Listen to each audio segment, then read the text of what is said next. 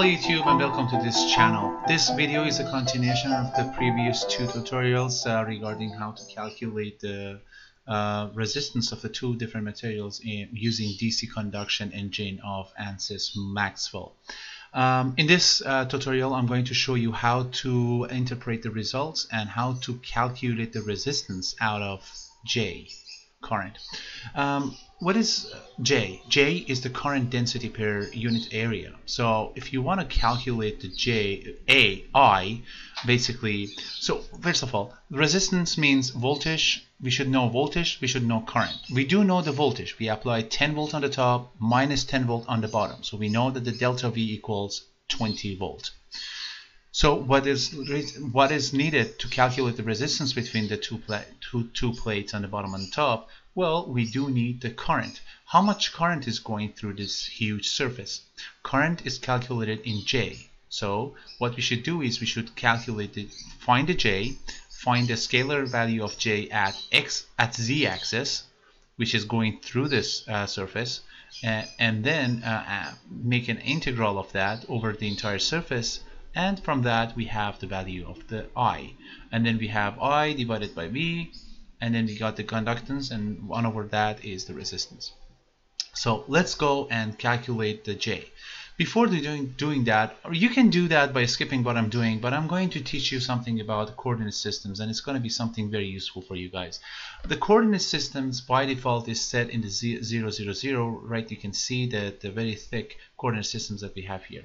Now, one thing you can do is you can change the coordinate systems to wherever you want in order to serve your own local purposes. So for our case, we want to be able to find, we want to basically come to this plate and make this face to be our xy plane. Once again, this is going to be our xy plane. It's not right now on our xy plane because our xy plane is sitting right there underneath. So we want to bring this thing up and make sure that we can actually calculate that um, in our xy plane. Or we can actually go in the middle and say, okay, let's let's calculate the xy plane on the middle uh, of this um, of this case and see how much current is going through the middle. So, so let's let's cut this guy and see how much current is going through the xy plane when we cut it in half and, and, and see what is going through. So to do that, the thickness here is 1.5. The, the entire height is 1.5.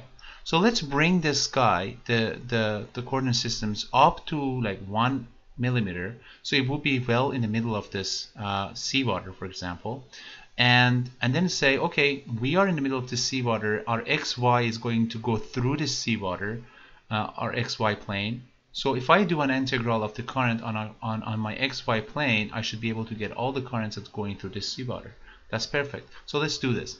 First go here and select on offset or uh, origin or you can go to the modeler coordinate systems and then uh, under this uh, create you can go to the relative coordinate systems and then you click the offset. As you can see it's the same thing that we have over here. So let's go with that. Select this. And I'm gonna say the offset is gonna be not on the X not on the Y but on the Z and it's gonna be one millimeter. So it's right in the middle somewhere here. That's good. So let's get to our calculation for the field I'm going to right click on the field overlay and select the calculator. You can find the calculator in the Maxwell 3D Fields calculator. Um, over there I'm going to go to the input and select J as our uh, current and then make sure that under the vector I'm going to select the, scalar to be XZ, sorry, on the Z. And again I'm going to go back to my geometry here now. Now that I have my ZJ, now I want to have the, the surface that I'm going to do the integral. So I'm going to use my relatively relative coordinate systems that I just create, not the global one, the relative one, and I'm going to go on x, y of that. Okay, and pressing OK on this, and that will be a calculation of a d, djz dz um, over the s. So I'm going to integral integral that, so you get all the current that going through that, um, and, and you can now calculate that.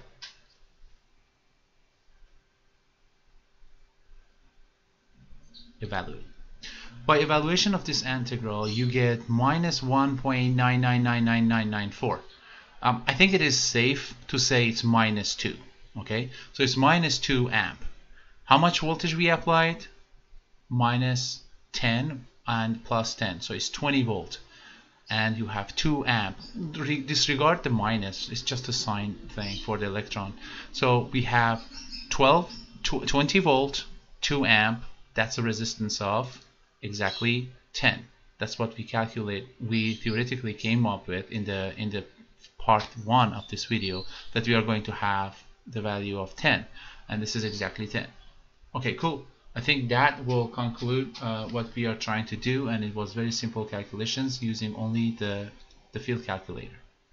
Uh, if you have any other questions about uh, the field calculator I can uh, I can talk about that. If you have questions about this particular designs, put it underneath the videos, relative videos, and uh, in the comment sections. I ask the other people who are watching this to also look at the comments, and if they know the answer of some of the questions, please go ahead and help your friends and and answer the questions.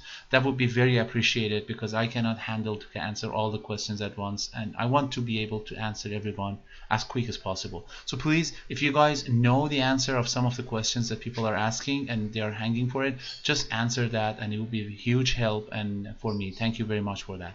If you have any other questions regarding whatever your design is, you can send it to my email and we can follow up from that uh, point. My email is as, as, as it's shown here and uh, I'm trying to get you uh, get back to you as soon as I can.